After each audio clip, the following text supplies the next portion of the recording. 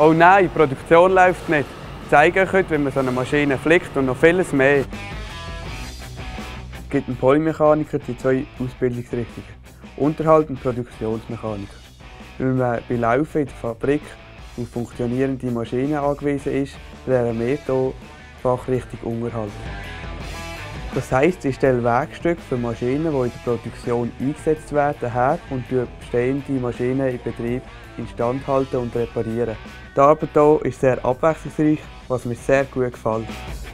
Im ersten und zweiten Lehrjahr lernen wir Bohren, Fielen, Fräsen und Drehen. Die Grundausbildung schließen wir mit einer Teinprüfung ab. Im dritten Lehrjahr lernt man das Zeichnen auf der CNC-Maschine. Im letzten Lehrjahr ist man im Unterhalt im Betrieb tätig. Ein weiterer Pluspunkt ist, dass man bei Laufen alle Schweißverfahren, Pneumatik und Hydraulik lernt.